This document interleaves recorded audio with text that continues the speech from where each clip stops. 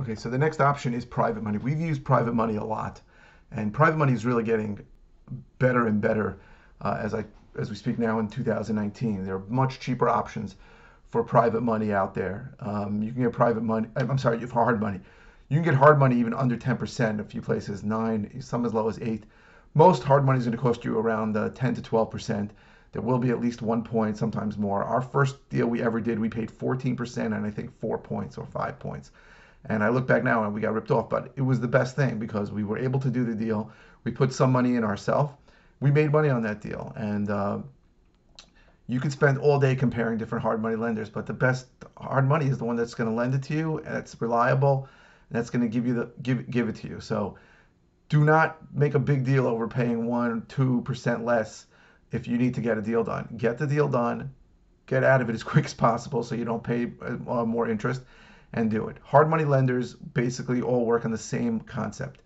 They want you to put some skin into the game. A lot of hard money lenders today want you to put 10% down on the purchase and will then fund 90% of the purchase plus all of the rehab. But they're going to want you to lay out the initial draw to the contractor. What that means is that they only want to pay you money for the rehab after it's done.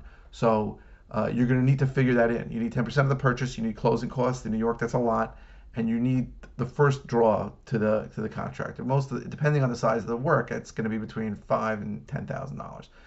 But also, they're going to want a scope of work. What that means is all the work that's done and a schedule of when to pay it. So you got to be careful there. You need to really speak to your contractor about it. What's getting done first, and then I'll pay you for it because they're going to give you draws. Sometimes three draws, sometimes five draws. They're usually going to pay you. Usually going to charge you a little bit for each draw because they're going to need to do an inspection.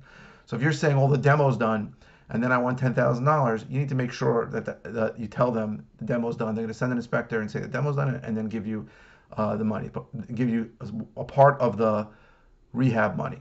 So hard money is a huge tool uh, for for what we do. For wholesalers, you really don't need that, um, but for rehabbers, you do. And we used hard money a lot, uh, at least a hundred, no more than a hundred times. Um, and again, if you look at it and say, wow, I'm getting ripped off, you're really not because they're lending you money on a property that you cannot get other financing for, assuming you can't get private money, which we spoke about in the earlier uh, video. So hard money is a great tool. We used it in conjunction with private money on a lot of our deals. So we borrowed money for the equity part, uh, which was usually more, more than 10% of the purchase price, and we had, we had other costs involved. Um, and then we borrowed hard money. The problem with that thing, with that, and we'll talk about in other videos, that we're paying two people when the deal uh, finally closed. But hard money is a great tool. There are a million hard money lenders out there. They need to deploy money. They need to. They want to lend you money. They want experienced people. If you haven't done the deals before, it's a little harder to get uh, to get to get a loan. But if the deal is great, you'll still get it. Maybe they won't give you 90% of the purchase. They'll give you 80% of the purchase. But again, if the deal is great, they'll, they'll get it. You'll get it. And hard money is something everyone should be looking into if you're doing rehabbing.